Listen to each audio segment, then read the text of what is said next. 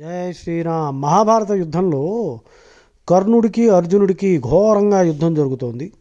అకస్మాత్తుగా కర్ణుడి రథం నేలలో కూరుకుపోయింది. కర్ణుడు రథం నుంచి దిగి అర్జునుడితో ఏమంటాడు అర్జున రెండు నిమిషాలు ఆగు. నా రథచక్రం మట్టిలో కూరుకుపోయింది తీసు బయట తీస్తాను. నీకు భయపడి నేనేమి ఈ మాటలు అంటున్నా అంట అంటున్నాను అనుకోవద్దు. నువ్వు మహాశూరుడివి యుద్ధ నియమాలు అన్నీ కాబట్టి నియమపాలన చేయమని నీకు చెప్తున్నా. నేను ఇప్పుడు దిగుతున్నా దిగుతున్నా. దిగాను. చక్రం ఇరుక్కుపోయింది అది తీయాలి. అప్పుడు శ్రీకృష్ణుడు కర్ణుడితో అన్నట్ట ఓహో కర్ణ ఈ దుర్జనులు ఉంటారు చూడు ఆపదల్లో వాళ్ళ చెడ్డ కర్మలను నిందించుకోవడం కాకుండా వాళ్ళ బ్యాడ్ లక్ని తిట్టుకుంటూ ఉంటారట. భాగ్యాన్ని నిందిస్తారు. నువ్వు ఇప్పుడు అదే పని చేస్తున్నావురా నాయన. ఆ? యుద్ధ ధర్మాలన్నీ మాకు చెప్తావా నువ్వు? రే నిండు సభలో రజస్వలమైన ద్రౌపదిని అంటే ఒకటే వస్త్రం వేసుకుందనమాట ఆవిడ పీరియడ్స్లో ఉంది. అవమానం చేసినప్పుడు ఈ ధర్మం ఏమైందిరా నీది? తర్వాత ధర్మరాజు యుధిష్ఠరుణ్ణి మాయాజూదంలో శకునిగాడు మోసం చేసి ఓడించినప్పుడు నీ ధర్మం ఎక్కడికి పోయిందిరా? ఏ? వనవాసం చేసి తిరిగి వచ్చిన తర్వాత పాండవులకి వాళ్ళ రాజ్యం ఇవ్వండి అని అడిగితే ఇవ్వలేదు. అప్పుడు ఈ ధర్మం ఏమైందిరా? ఏ? నీ సలహాతోనే దుర్యోధనుడు భీముడి భీముణ్ణి పాములతో కరిపించి విషాన్నం పెట్టించి చంపడానికి ట్రై చేశాడు కదా. అప్పుడు ఈ ధర్మం ఏమైందిరా? వారణావతం.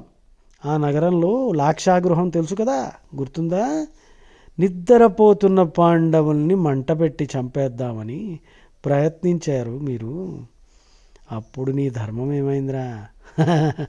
నిండు సభలో ఆ నీచుడు దుశ్శాసనుడు ద్రౌపదిని అపహాస్యం చేసి చీర లాగుతున్నప్పుడు అసలు ఆ ఐడియా ఇచ్చిందే నువ్వు. ఈ మాట కృష్ణుడు చెప్పడు కానీ అసలు ఐడియా ఇచ్చింది కర్ణుడు. కర్ణుడు దుర్యోధనుడికి ఈ ఐడియా రాలే. వాడు దుర్మార్గుడే కానీ ఇంత దుర్మార్గత్వం వాడికి లేదు. కర్ణుడే చెప్పాడు దాని చీరెప్పండి అని. ఏ ఆ మాట చెప్పకుండా శ్రీకృష్ణుడు ఏం చెప్పాడు? నిండు సభలో నువ్వు ఆ దుశ్శాసనుడికి ఐడియా ఇచ్చావు వాడు లాగుతున్నాడు. ద్రౌపది ద్రౌపదిని అపహాస్యం చేసినప్పుడు నీ ధర్మం ఎక్కడ పోయిందిరా? తర్వాత అభిమన్యుణ్ణి ఏడుగురు మహారథులు అందులో యాక్చువల్గా కర్ణుడు వెనకాతల నుంచి బాణం వేసి బోస్ట్రింగ్ని బో స్ట్రింగ్ని కట్ చేస్తాడనమాట తాడు. ఏడుగురు యాక్చువల్గా పద్నా పదమూడు మంది పదమూడు మంది కలిసి కొడతారు. అసలు మహాభారతంలో మీరు ఇంకా చదివితే డెప్త్లోకి పోతే ఉత్తి ఏడుగురే కాదు వీళ్ళందరూ మెయిన్ వాళ్ళు ఏడుగురు. కృష్ణుడు అడుగుతాడు రే అభిమన్యుణ్ణి చంపేటప్పుడు మీరు ఏడుగురు మహారథులు ఏకమయ్యి నా నాలుగు వైపుల్ని చుట్టుముట్టి చంపారు కదరా. అప్పుడు నువ్వు నీ ధర్మం ఏమైందిరా? అప్పుడు లేని ధర్మపాలన ఇప్పుడెందుకురా? అని అడిగితే కర్ణుడు తల దింపుకుని తల వంచుకుని నోరు మూసుకుని ఉన్నాడు. వెంటనే శ్రీకృష్ణుడు అన్నట్టు అర్జునుడికి సైగ చేసి చెప్పాడు. దివ్యాస్త్రాల్లో కొట్టువేయండి అని. కానీ కర్జును కర్ణుడు వెంటనే ఏమి ఊరుకోలే. కర్ణుడు కూడా ఫైట్ చేశాడు. కర్ణుడు అర్జునుడి బాణాలు ధాటికి తట్టుకోలేక బ్రహ్మాస్త్రాన్ని కూడా ప్రయోగించాడు. ఎక్కడ? నేల మీద నుంచి. అర్జునుడు కూడా బ్రహ్మాస్త్రాన్ని ప్రయోగించాడు. కర్ణుడు వరుణాస్త్రాన్ని ప్రయోగించాడు. బ్రహ్మాస్త్రం వలన ప్రజ్వలించే అగ్నిని శాంతిపరిచి మరొక తీవ్ర తీవ్రమైన ఒక అస్త్రాన్ని అర్జునుడిపై ప్రయోగించాడు. దాంతో అర్జునుడికి ఒక నిమిషం డేస్లోకి వెళ్ళాడనమాట. అంటే చిన్న ఫెయింటింగ్ లాగా. అంటే అంత పవర్ఫుల్ దాంతో ఇంత లోపల రథచక్రాన్ని పైకి లాగడం మొదలుపెట్టాడు. అప్పుడు కొంతసేపటికి అర్జునుడు తేరుకున్నాడు. రికవర్ అయ్యాడు. అప్పుడు కృష్ణుడు ఈ అవకాశాన్ని పోగొట్టుకుంటే మళ్ళీ వీడిని ఓడించడం కష్టం రా బాబు అని కృష్ణుడు అర్జునుడితో చెప్పేట. వాడు రథం పైకి రాకముందరే వీడి శిరస్సు వధించు. మళ్ళీ ఈ అవకాశం చేజారిపోతుంది. అప్పుడు అర్జునుడు కొంచెం సంకోచించాడు. కానీ విషయం తర్వాత అర్థమైంది.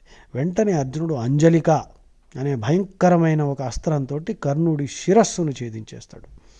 సో ఈ విధంగా సమయోచిత బుద్ధితో యుద్ధ కౌశల్యమును ప్రదర్శించిన అర్జునునితో కర్ణాదులను చంపించిన చంపించి శ్రీకృష్ణుడు విజయాన్ని సాధించాడు. సో ఇక్కడ ఇప్పుడు ఫర్ ఎగ్జాంపుల్ ఒక టెర్రరిస్టు నన్ను చంపడానికి కత్తి పట్టుకుని గదిలోకి వచ్చాడు అనుకో నేను నాకు దొరికిన ఏదో కట్టే కర్ర ఏదో తీసి వాడితో కొట్లాట మొదలుపెట్టాను.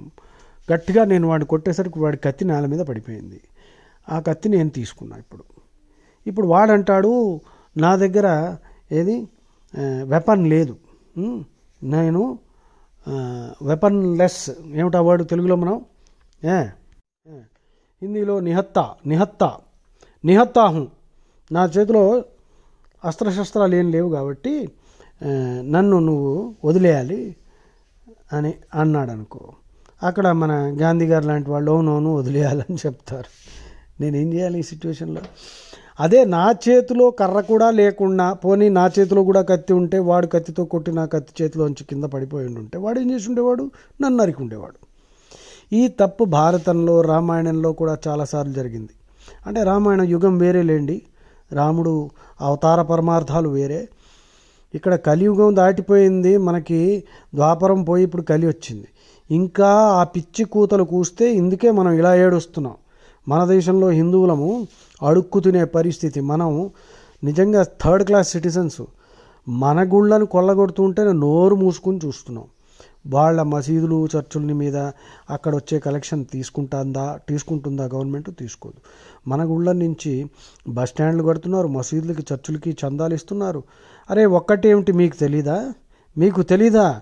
మన దేశంలో రామాలయం కట్టుకోవడానికి ఐదు వందల ఏళ్ళు పాపం రాముడు ఆగాల. అరే ఏ దేశంలో రా? ఇలా దరిద్రంగా ఉంటుంది. చాలా ఏం చెప్పాలి నేను? చాలా స్ట్రాంగ్ వర్డ్స్ వస్తున్నాయి. నా తెలుగు అంత స్ట్రాంగ్ కాదు. ఇంగ్లీష్లో అయితే ఇప్పటికి చీరీస్ ఉండేవాడిని. సో అందుకని ఇక్కడ వాడిని నేను వెంటనే నరికేస్తా. వాడు నన్ను వచ్చిందే చంపడానికి. ఇంక ఇందులో సంచు సంకోచించడం ఏంట్రా? వాడు రేప్ చేశాడు వెంటనే చంపాలి వాడిని వాడిని వెంటనే కూడా చంపకూడదు. వాడిని ఎలా చంపాలంటే మిగిలిన పొటెన్షియల్ రేపిస్కి ప్యాంటు తడిసిపోవాలి రేప్ గురించి ఆలోచిస్తే. ఇది చేయటం లేదు దండనీతి లేదు భయం లేదు అధవలకి మనం భయపడుతున్నాం లాకి. వాడెక్కడ భయపడుతున్నాడు? పోలీస్ స్టేషన్లకే మంటలు పెట్టేస్తున్నారు వాళ్ళు. పోలీసుల్ని కొడుతున్నారు రాళ్ళతోటి. మొన్న ఆ, హల్ద్వానీలో ఏం జరుగుతుందో చూడండి. ఇది ఎంతకాలం రా? ఇండిపెండెన్స్ వచ్చి ఎనభై ఏళ్ళు దాటిపోతుంది ఇంకానా? ఛీ! జై శ్రీరామ్ అందుకే భారతం రామాయణం చదవండి నాయన. భారతం చదవండి కృష్ణుణ్ణి అర్థం చేసుకోండి కృష్ణతత్వాన్ని తెలుసుకుంటే అప్పుడు మన సమాజం బాగుపడుతుంది. ముందుకి మనం ప్రోగ్రెస్ చేయగలుగుతాం. లేకపోతే ఇంతే. ఈ విధవలు వాళ్ళు చేస్తున్న పనులు చేస్తూ ఉంటారు. మనం వెర్రి వాళ్ళ అహింస పాఠాలు చెప్పుకుంటూ ఉంటాం.